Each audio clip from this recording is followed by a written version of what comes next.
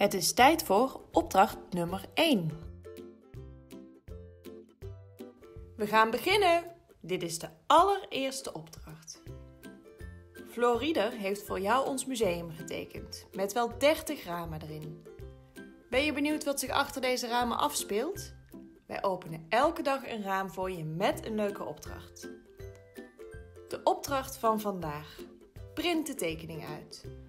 Als je geen printer hebt, teken dan je eigen museum. Net zo leuk. Vergeet de deur niet, die is belangrijk. En 30 raampjes.